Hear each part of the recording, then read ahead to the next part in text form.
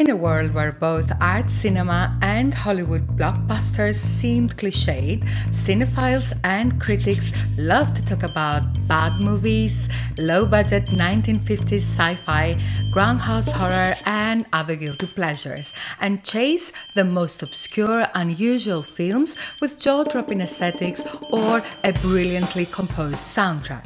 In this video, we will touch on the theme of cult horror cinema to explore the roots of the female vamp, revisiting iconic film works and characters.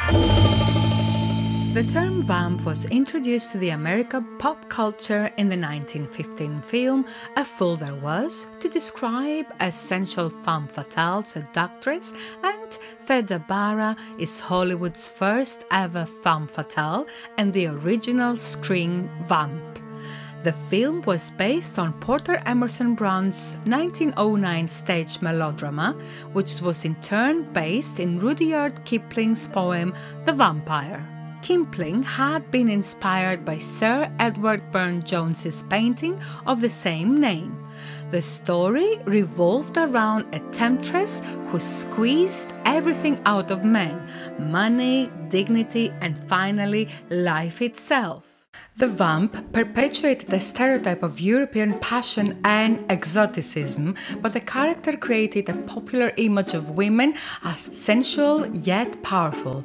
The enchantress dominated and triumphed over men and opposed sharply with the clean cut characters portrayed by actresses such as Mary Pickford and Lillian Gish. Before the rise of hardcore pornography in the mid 1970s, low budget erotica horror films were mainly aimed to a straight male audience who were lured in the cinema by the promise of provocative themes, mild nudity, and softcore scenes. Between 1968 and 1974, there was an extraordinary production of uh, vampire feature films that focused on sensual female characters mixing art, horror, and erotica. Most of the female vampire movie plots were derived more or less loosely from either Sheridan Le Fanu's short story Carmilla, detailing the love between the eponymous vampire and her young female victim Laura, or from the Countess uh, Elizabeth Bathory, an aristocratic woman of unimaginable cruelty who believed the application of young women's blood would grant eternal youthfulness. The movie with the most commentary on the female queer vampire subject is Dracula's Daughter from 1936. The film centers on Countess Zaleska, who we learn is Dracula's daughter and shares his curse, the necessity of drinking human blood. In an interesting twist, Countess Zaleska goes into therapy with psychologist Dr. Garth to cure her obsession. The therapy fails, and the Countess determines to make Dr. Garth into her vampire companion. She lures him into her castle in Transylvania and kidnaps his assistant and love interest, Janet. The spirit of Zaleska re-emerged in the late 1960s and early 1970s, and it follows an uncanny repetitive formula. The monster arises, threatens, and feeds, and is eventually destroyed by patriarchal figures such as fathers, priests, generals, boyfriends. This formula certainly seems to be the case for all Hammer Studios female vampire films that constantly cater to straight male fantasy. Movies such as The Vampire Lovers, Lust for a Vampire, and Twins of Evil.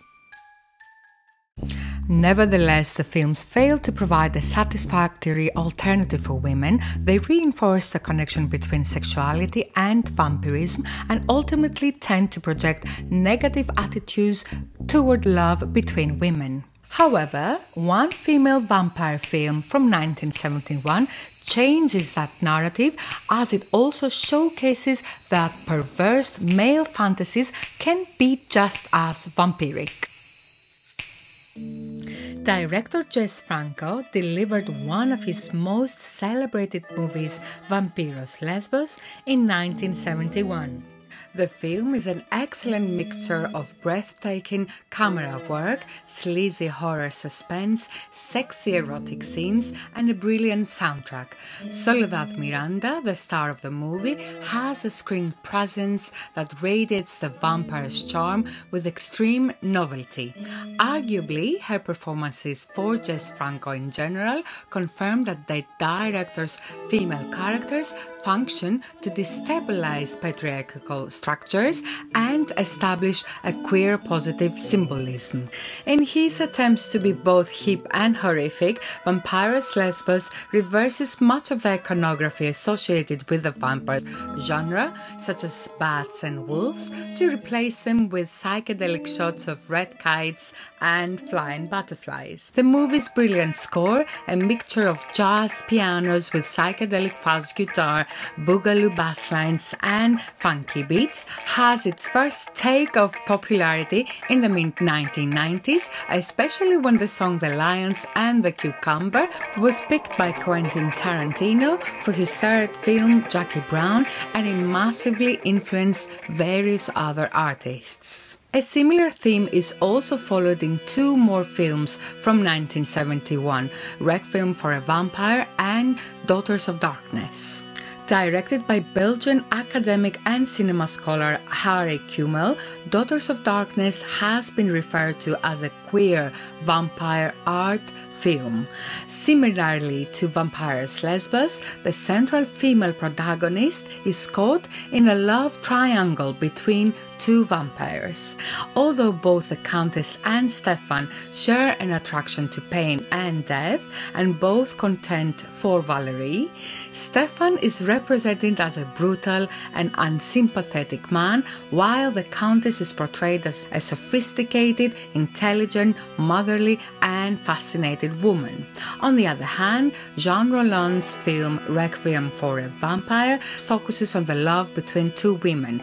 The movie seems to run contrary to the conception that vampirism is a perversion because sexual perversion is associated most fully not with the vampires but with the predatory humors of the film.